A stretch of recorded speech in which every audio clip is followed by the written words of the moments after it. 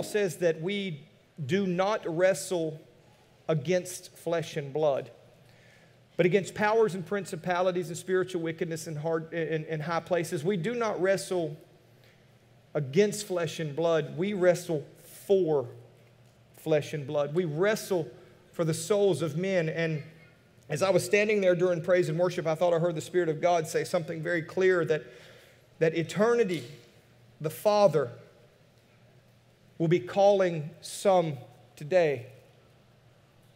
The God of glory will take time today to prick the hearts of men and women today, and He will call. You will hear, I believe, according to what the Spirit was saying to me, people in here will hear eternity call them today. And I'm just going to say, and I'm going to pray. Listen to what the Holy Spirit would, would speak to your heart today, please.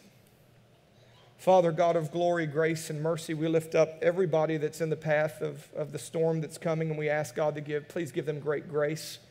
Give them provision and keep them, God, and even cause this tragedy to work out for a great opportunity for revival in the areas that are affected. And God, let your gospel go. Father, pr- protect those, again, who are in the wake and the way of the storm and give them great grace. And Father, I ask you, everyone here, all those who are listening and watching and those who are present in the room today, I ask you, Holy Spirit of the living God, draw us to you. Give us ears to hear what you would say to us in Jesus' name. We're going to be talking about diamonds or the aspect of heaven's treasure. And let me tell you what heaven has for humanity is exponentially more valuable than what we can think or what we can imagine. Paul said, Eye has not seen and ear has not heard what God has in store for those who love him. It's incredibly valuable, and we're going to look at that. People value a lot of different things, and a lot of different things have a lot of different values. I think we understand that. The value of an object determines its priority in our lives. So I think it's safe to say that we prioritize the things that we value. You, you would agree? If something is valuable to you, take money for instance. We, we value money, so we prioritize the acquisition of money. Hopefully, we value our marriages, so we, so we prioritize those marriages. God understands the value of things as well. In fact, He probably understands the value of things much better and in much more detail than, than we do. In Matthew 6 26, we're going to look at a question that, that Jesus asks. And the question that he asks is, is so profound. In fact, the question that Jesus asks here, in another form, God used this question to radically change and transform my life, or at least to begin that process of transformation in my life. And I believe that if you dare answer the question that Christ is about to ask us, that it will affect the value and the priority of every single thing that you know. Everything that we see and experience, I believe that the answering of this question will affect it. And here's the question Matthew 16 26 says, For what profit is it to a man if he gains the whole world? Let's expand that. Let's say the entire universe, all of creation, and loses his own soul.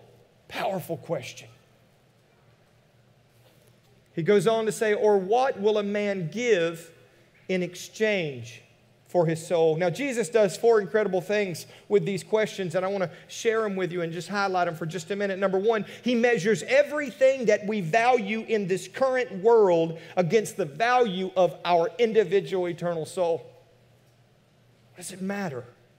He values the temporariness of everything that you can get against the weight of eternity. You live a hundred years, you live a thousand years. It's not even a bleep on the radar of eternity. And he takes that and he does a second thing. He repositions by this the eternal over the temporal as the priority. He says, So what? You get everything. You become president, you become He Man, master of the universe, and you lose your soul. You, you're really left with nothing.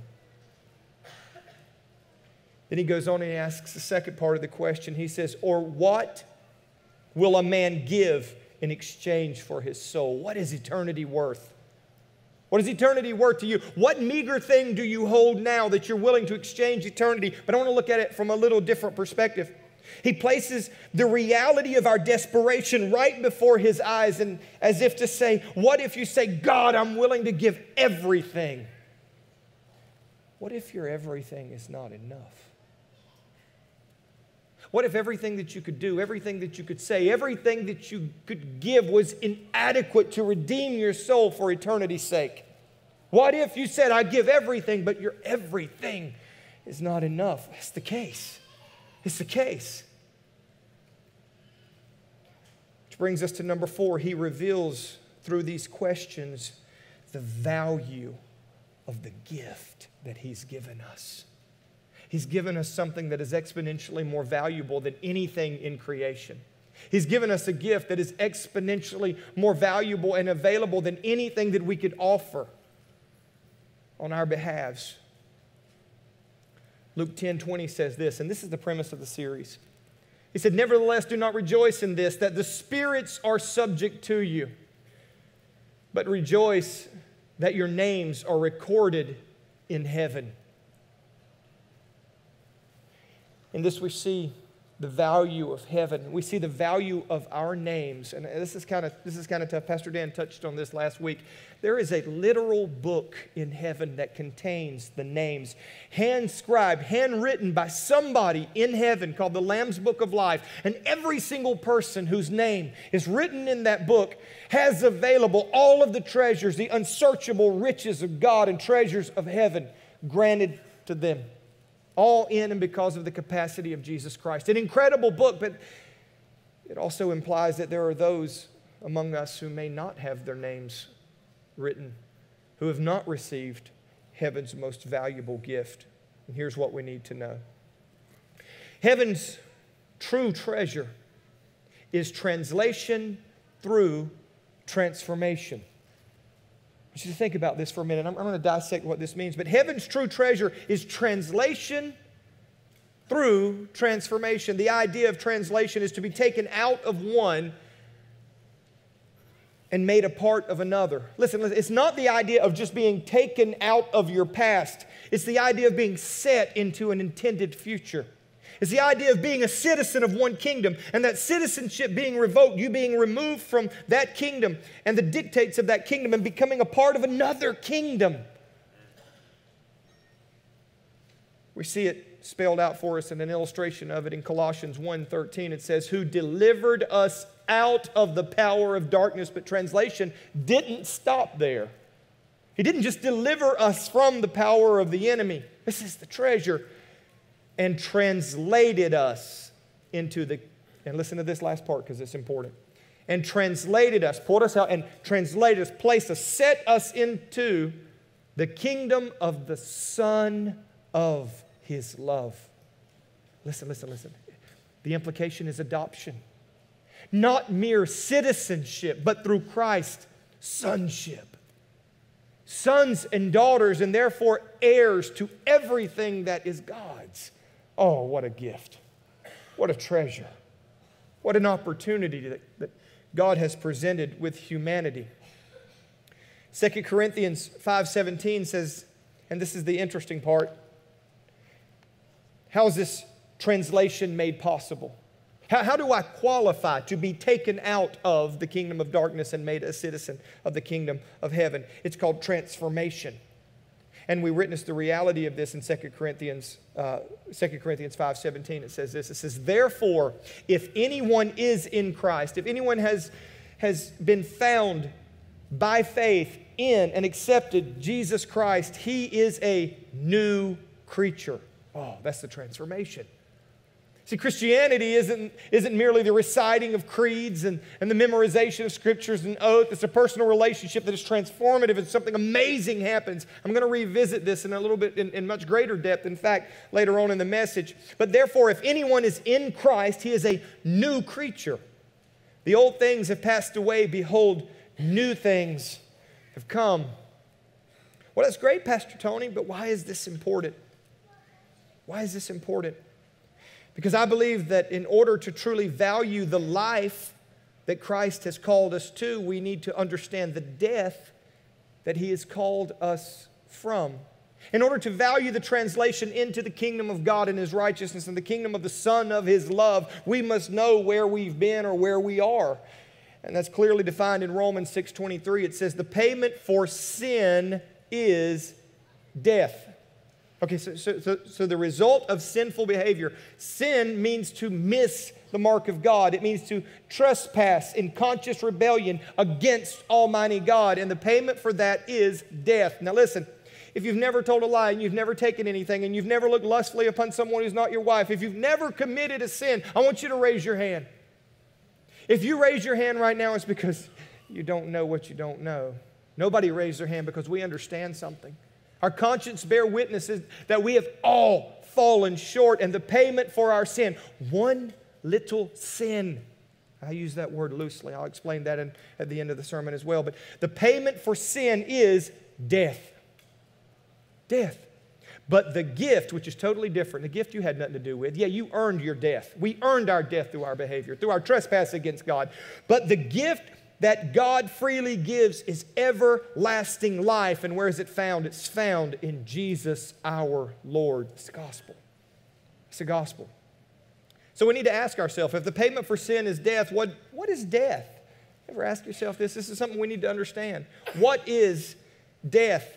What happens to a person who dies without Jesus? You close your eyes and you open them in eternity. You take your last breath. What does that look like for you if you do not know Christ? Is there a literal hell? And if so, if there is a literal hell, is, is, it, is it temporary? Is it permanent? Is there a way out? Does the Bible teach a purgatory? The Bible says to be absent from the body is to be present with the Lord. I cheated, kind of gave that answer. Did Jesus mention hell? It's important. See, the Bible gives us a clear warning concerning the truth of eternity. I was doing some research for this script for this sermon, and, and I went to, I saw a question on Billy Graham's website. And you know, people, you know, it's like I forget Dr. Laura or somebody, know, people sending questions and they answer them in a public forum. Well, sometimes we'll ask a question to create an opportunity to share our opinion. And that's kind of what happens here, but I want you to listen to the question. The question was this Did Jesus ever say anything about hell? I don't believe in hell myself. I believe God is a God of love and wouldn't send anyone to hell. Does that sound familiar? Maybe you believe that. I think preachers who talk about hell all the time are just trying to scare people into believing in their religion. So forget the, the premise and the accusation, and that may be. I've heard preachers, I'm either going to scare you out of hell or scare, scare the hell out of you, either one way, you know. That's not my intention today. However, no.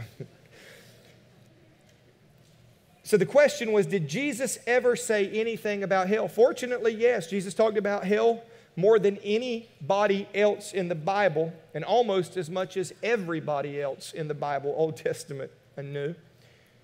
But the Bible teaches very clearly that we are to be saved. I think we hear this. This is not just Christianese, this is not just Christian talk. The Bible clearly says we must be saved. Therefore, if we must be saved, there must be something that we should. I remember going uh, on a trip with a, with a gentleman, and this gentleman would walk up to people just kind of arbitrarily. And he's got an evangelistic heart, and he would say, Hey, are you saved? And these people would go, What? it was kind of comical. And, and, then they would go, what would, your, what would be your response? Somebody walks up and goes, Are you saved? You would go, Are you a terrorist? Do I need to be saved? Am I saved from what? And then, of course, he would use that as a caveat to tell them about their need to be saved so he could share the gospel. Hey, look, whatever works, I'm not going to knock somebody's tools. Just remember, if you need to be saved, this is the implication that you are in jeopardy of some sort. What does the Bible say? The Bible says in John chapter 10, verse 9, it says, I am the door, and anyone who enters through me will be saved and will go in and out and find pasture. Mark 16, 6, or 16, 16 says, He who has believed and has been baptized shall be saved. Got it? You kind of see the theme. And he who has disbelieved shall be condemned. Ephesians 2 and 8 through 9 says this, and this is a good one. If you don't hear anything else I say today, hear this verse. God saved you, saved you through faith as an act of his kindness. You had nothing to do with it. Being saved is a gift from God, and it's not the result of anything you've done, so don't go brag about it. Wow, that's, that's pretty plain. Acts 2:21 says, "And everyone who calls on the name of the Lord shall be saved." Listen, I'm going to share a lot of scriptures today and they're not going to be coming up or whatever, so write a lot of them down. I am going to have a lot come up, but jot these down. Saved from what? Jesus said it this way. Do not be afraid of those, and this is in Matthew 10 28. Do not be, check out what I'm saying, please. Matthew 10 28, after the service, Ryan.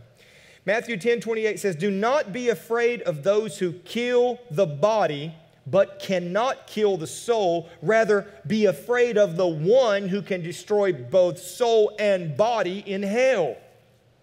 This is Jesus talking. So, yes, Jesus talked about hell. The Bible constantly talks about the need to be saved from hell. Now, I know that it's not popular to talk about hell. Oh, you can't talk about hell, Pastor Tony. Okay. Well, people get upset, and it's like, okay, it's like this. It's like you tell me to stay out of the street, but I can't tell you why. You don't do that. It's like, boy, get out of the street before you get ran over by a car. Did I say car? You, you, see, so it's like you, you Christians can't talk about hell because if you do, you're just trying to scare somebody. Yeah, I want my kids to know if they play in the street, they're going to get ran over by a car, and it's going to be ugly. It's the same concept. We need to understand that it could be bad. And let me tell you why. Let me give you a very practical application. How many heard of Aaron Rodgers? It's, it's kickoff, right? Y'all know Green Bay Packers? Well, something happened recently. Aaron Rodgers had been hanging around or had been influenced heavily, and the entire team, in fact, had been influenced heavily by a particular preacher. Listen, I'm not going to mention names because I'm not into preacher bashing. However, I will address heresy. So, God's, I'm, who am I to judge another man's servant? I, I don't do that. But I tell you what, I will address some foolishness when it's taught. Needless to say, he hung around this person, and this pastor had such an incredible, profound influence on him that he adopted his perspective and come out three days ago and declared that he like the pastor, does not believe in a literal hell. Now, here, here's the deal he has been influenced, and he has influence. It really matters. It really does make a difference if there's a, if there's a hell or not. Because if there's no hell, then we question the validity of the entirety of the scriptures. Not only that, there's a lot of different ramifications. 2 Timothy, and here's the, here's the reason I mention this, because 2 Timothy 4, 3 and 4 tells us this very, very clearly. It says, A time will come when people will not listen to accurate teaching. I came here today to fight. I came here to fight for souls and for minds. I'm not fighting against people. But I understand a time will come when people will not listen to accurate teaching. Instead, they will follow their own desires. Understand the implication. Your own desires are contrary to the teaching of the word by nature. This is a hint of the, of the state of humanity. Instead, they will follow their own desires and surround themselves with teachers who tell them what they want to hear. Look, I understand. When you're on Facebook, you want everybody to agree with you, you want everybody to affirm your opinion. But I'm going to tell you something. There's something better than my feelings. It's called truth, and I, I just want the truth.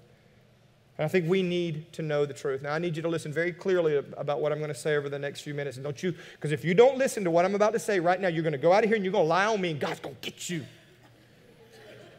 I'm telling you, God's going to get you. I forgive you, but I just, I really want you to understand what I'm about to say. I'm about to address an issue. Don't mess this up. When you flip over that sheet with the notes on it, there are some statements. Those are not doctrinal statements from Rockfish Church. So don't walk out of here and go, well, Rockfish Church. Everybody's looking at the back. This is not Rockfish Church's stance. I am addressing this article and the assertions made in an article by a popular progressive Christian. Okay? When you hear the word progressive Christian, the hair on the back of your neck should stand up. I'm just going to tell you that's a red flag. A progressive Christian is like a progressive constitutionalist. We believe that culture dictates truth. Culture dictates original intent and it changes. Listen, God is the same yesterday, today, and forever. It says so. He said so. Therefore, we're not going to deviate and say something He didn't say or say He said it then, but He didn't mean it now and, and that kind of stuff, okay? So we're just going to.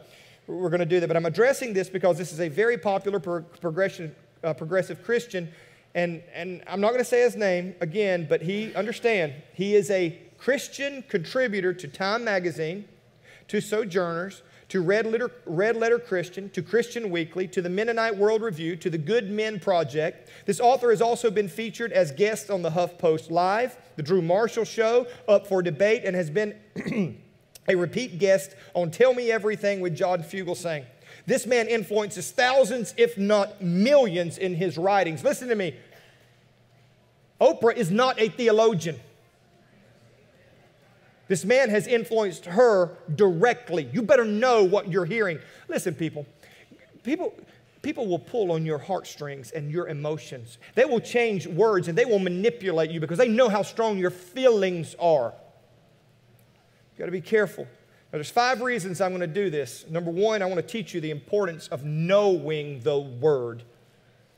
Number two, it leads right into that, is so that you'll recognize heresy.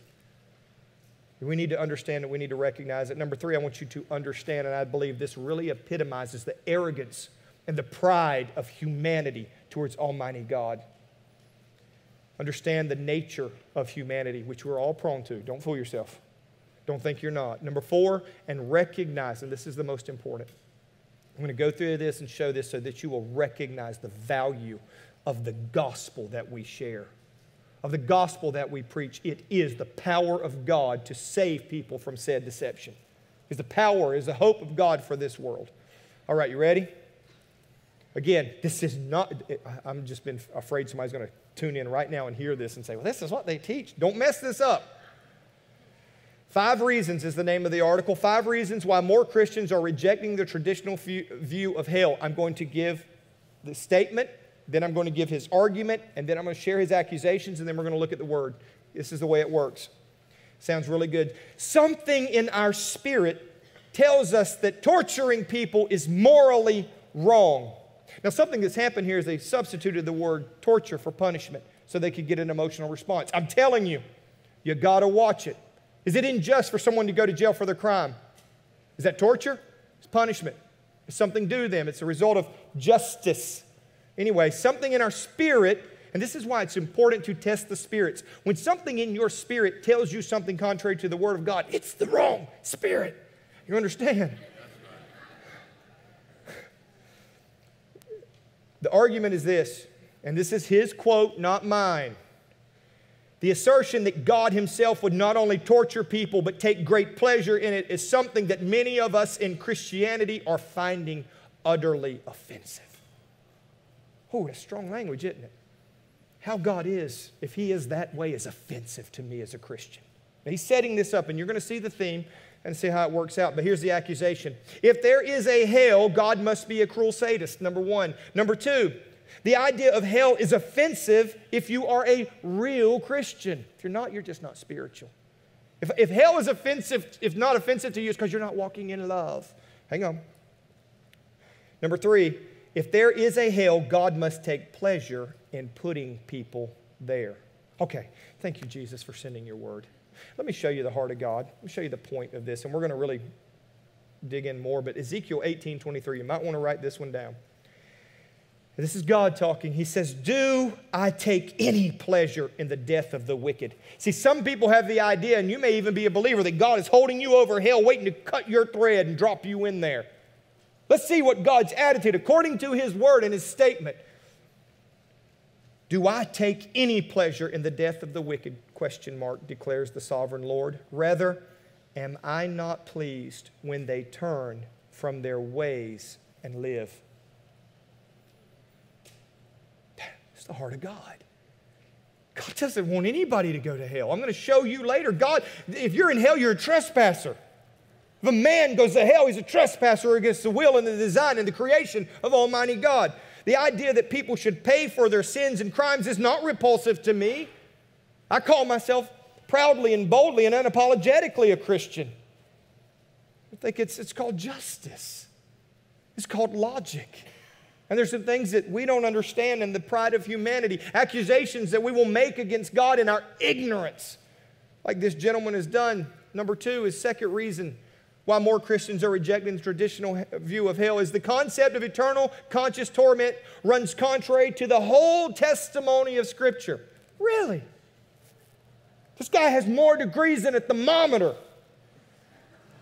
He is a theologian, learned He's been on Oprah. They will gather to themselves people who will tell. Right, anyway. Like, I love Oprah. Praying she repents and gets saved. All right, here's the argument. When we look at the e- entire testimony of Scripture, and this is him, this is his argument.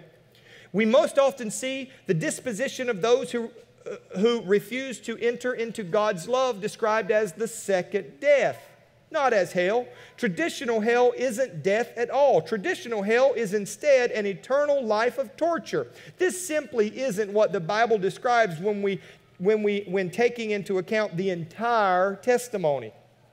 Okay? All right. Okay.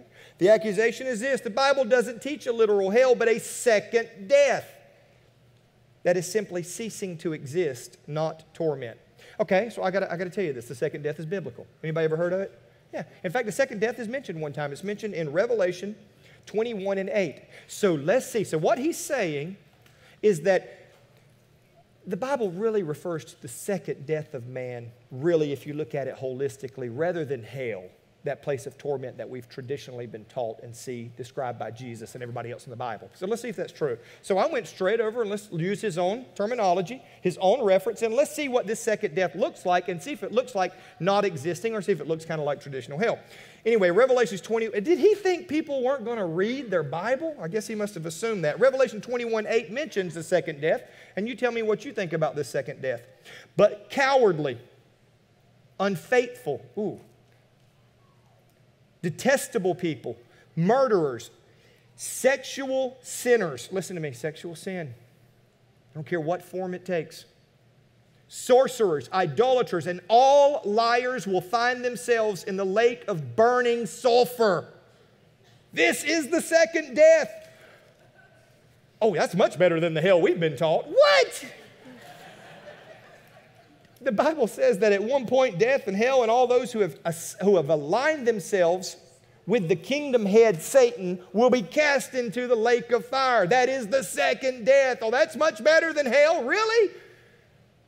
It's just a guy. People are depending on you, defaulting to your emotions and your feelings and to human logic, which is fallen and broken, rather than trusting the Word of God. And I'm going to give you good reasons why this can happen. I understand this.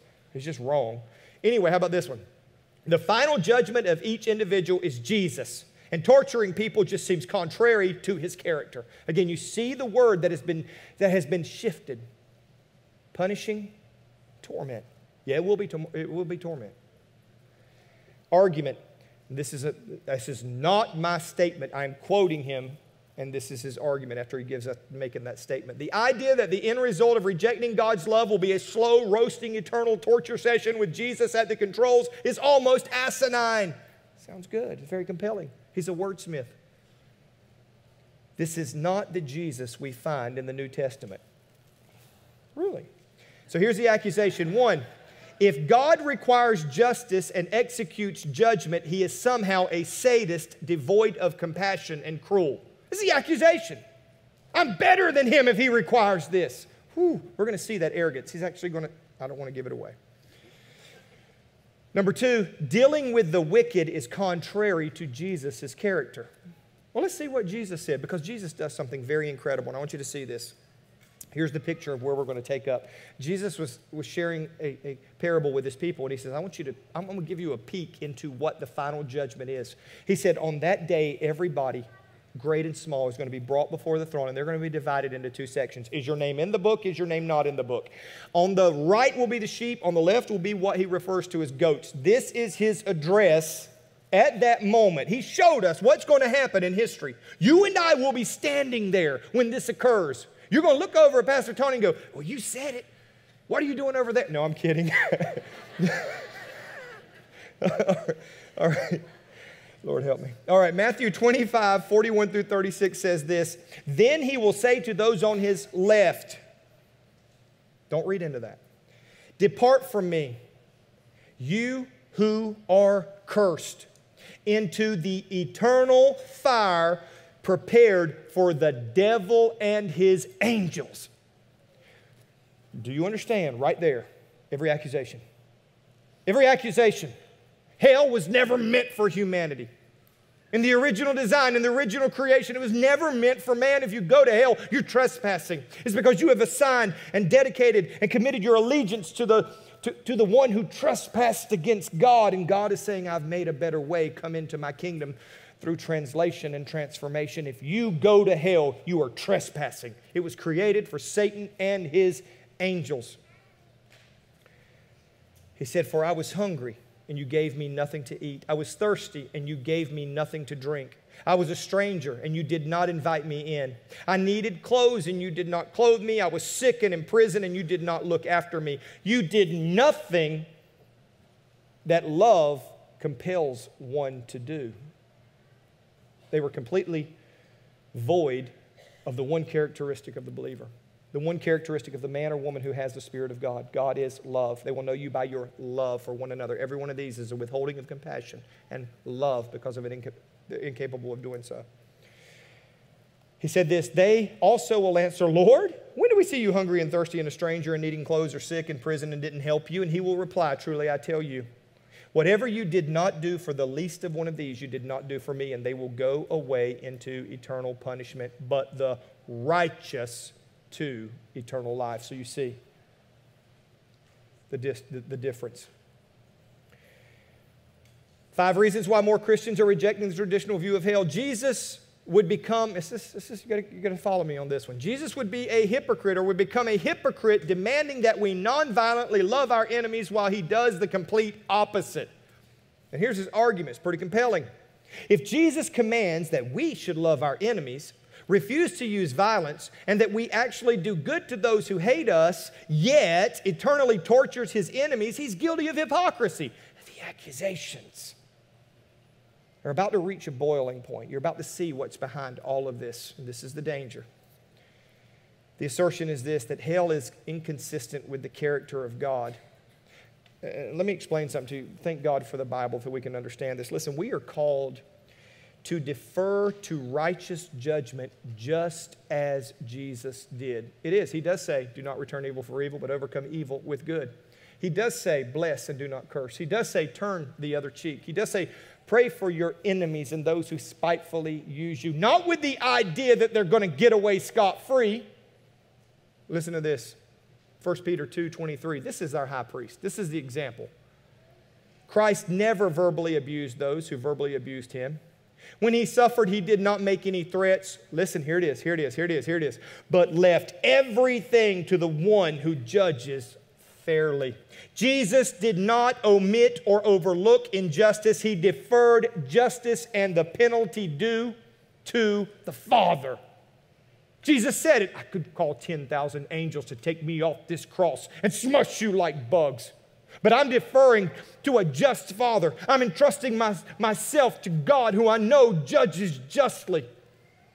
And I'm demonstrating the love and the patience and the forbearance of God. And don't mistake it don't mistake his mercy and his patience with you as overlooking his righteousness and his holiness, because it's not. Don't be confused. We defer God's judgment for two reasons. One, we trust his righteousness. Number two, we want to demonstrate God's mercy to them while there is still hope. Listen, man, I, I want to be honest with you. If, if, you. if you're here and you're a believer, I will judge you. Well, Judge, stop. Listen to me, Judge. Oh, hush. Go get your context.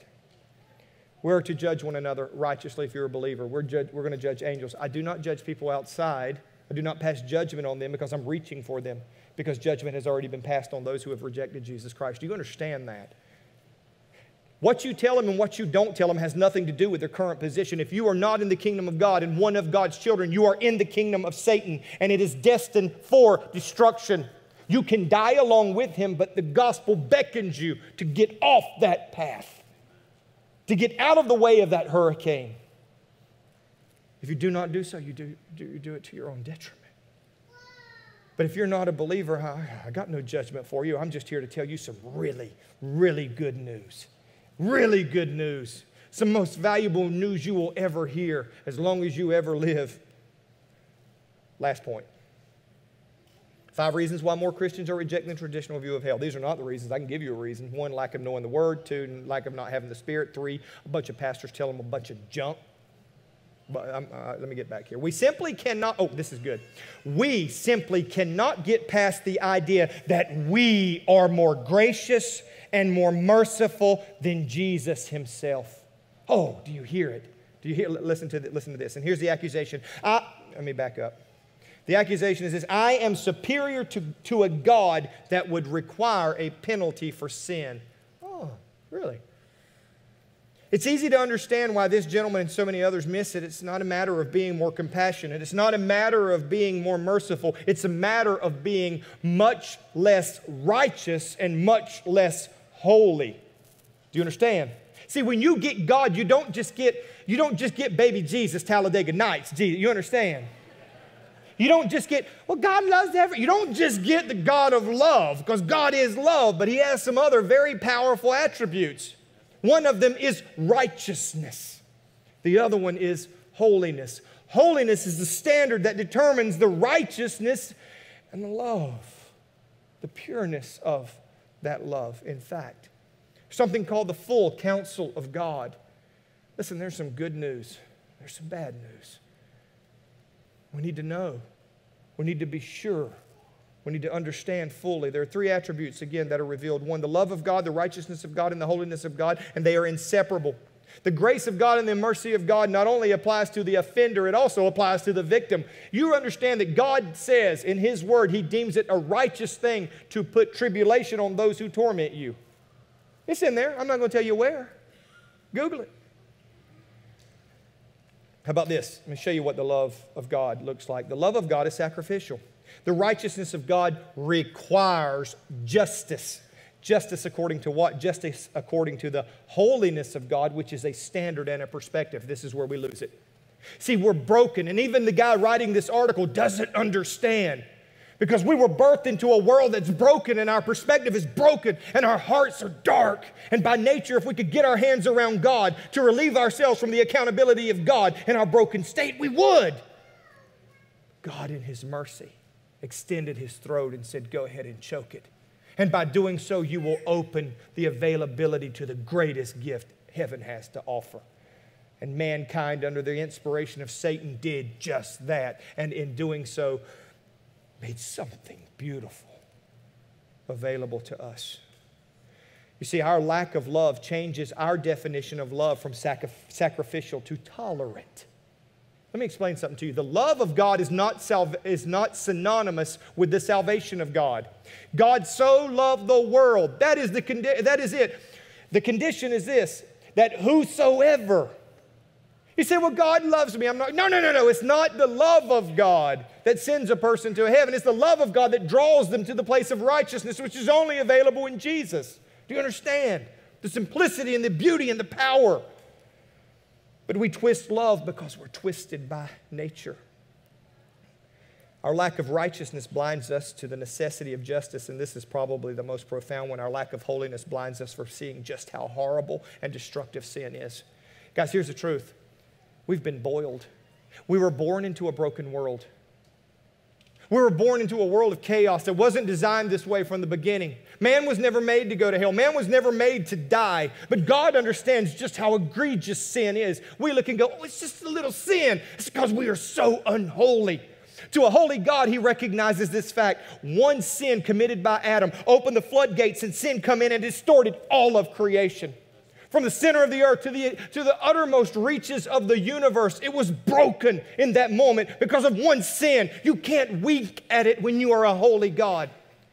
It opened the door, and every single man, woman, and child born is appointed to them wants to die because of that sin. He understands the implication of what would happen if he released a creature made in his image into eternity. Why do you think when Adam sinned, God said, Put an angel in front of that tree because if that rascal gets back there, he's going to live forever. And we cannot unleash something like that onto eternity. Death became that point where man became accountable to judgment to decide if he would be confined in hell. Otherwise, he would have destroyed not only what is seen, but he would wreak havoc on what was invisible. Sin is not something that's little and small. In our culture, we look at it and we wink, oh, that's just sin, everybody does it. All right, I'm going to back off. Here's a, here's a problem.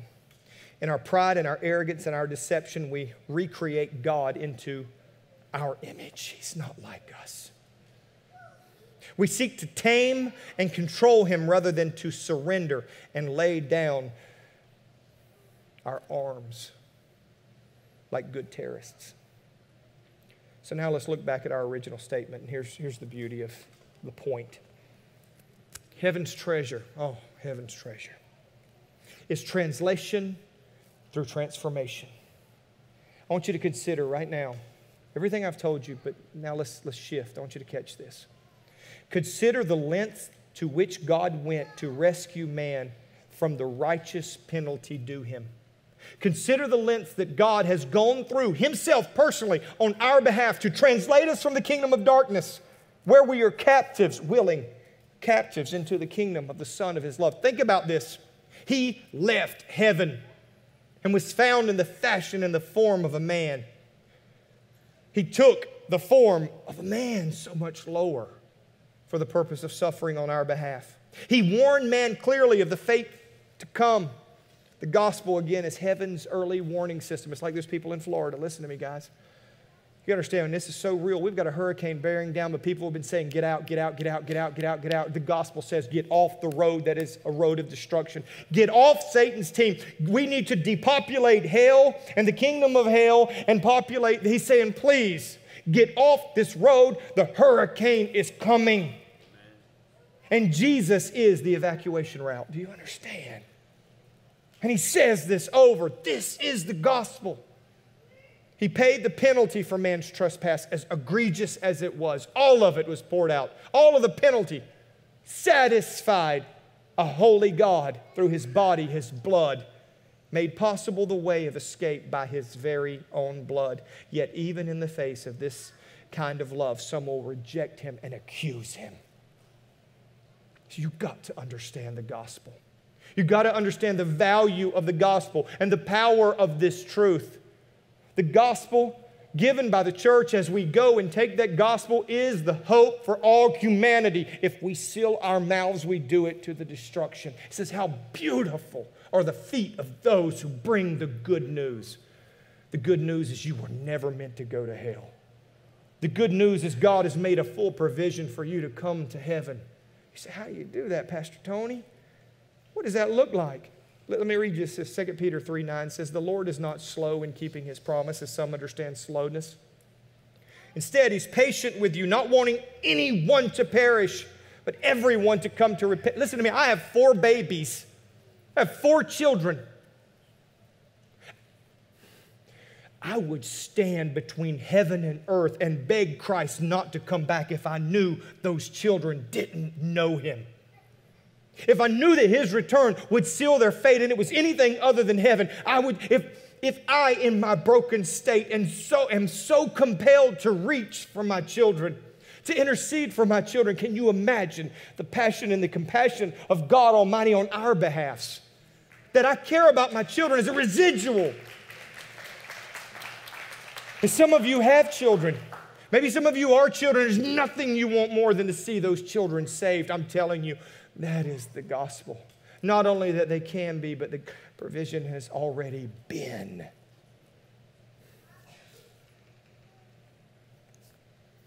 Matthew 13, 45 and 46 says, Again, the kingdom of heaven is like a merchant seeking fine pearls. And upon finding one pearl of great value, eternal significance, he went and sold all that he had and he bought it. Have you? Will you accept the most valuable of all of heaven's treasures? It's a question. This gospel is for you and for me and for this moment. Listen to this.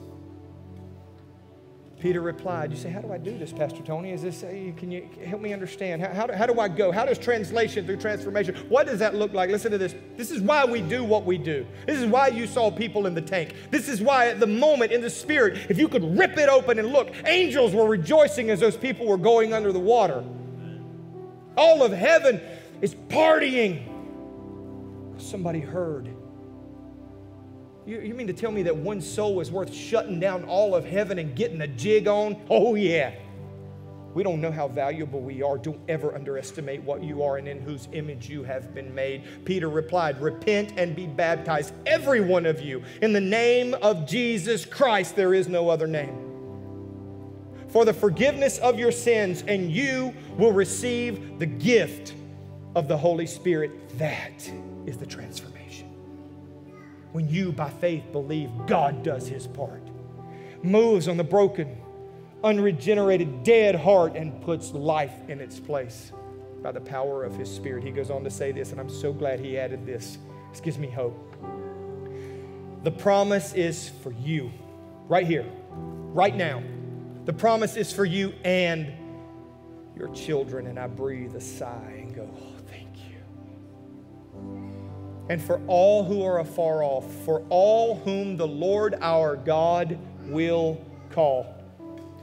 Listen, I'm not going to get all weepy voiced and I'm not going to drag this out, but I'm going to tell you right now the Spirit of no man comes to the Father except by the, except by the Son, and no man comes to the Son except by the Spirit of God, unless the Spirit of God draw him. The Spirit of God will not always strive, will not always draw men. I'm telling you. If the Spirit of God has moved upon you, if the Spirit of God is speaking to you, if the Father is calling you home, know the blood of Jesus is the way, and I am begging you. I am begging you answer the call of eternity. If you've walked away and you're living as a prodigal in a foreign land, I'm telling you, get out. Return home. If you confess your sins, He's faithful and just to forgive you and cleanse you from all unrighteousness. If you do not know, all who call with a pure heart, with, a, with all their heart on the name of the Lord will be saved. Listen, I know we baptize. We'll open that rascal up and, and baptize you right now. If the Spirit of God is drawing you, I beseech you. Prayer partners, come up and we're going to pray. Prayer partner, if y'all could come up. Listen, if you need prayer, I'm just, I'm just asking you, as if I were your father and you were my child, and I'm not even going to take that, I'm just telling you. Please, tell my own children, please, do not harden your heart in the day of his calling. Stand if you're able. We'll get out of here.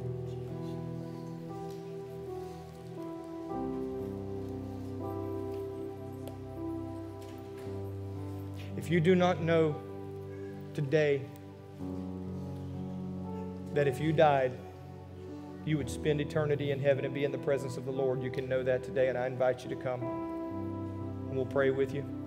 God's arms are open. Today is the day of salvation. His blood has made the way. You say, Well, I'm not perfect, Pastor Tony. I got a bunch of junk in my life. Listen, if you could do it, he wouldn't have had to do it anyway.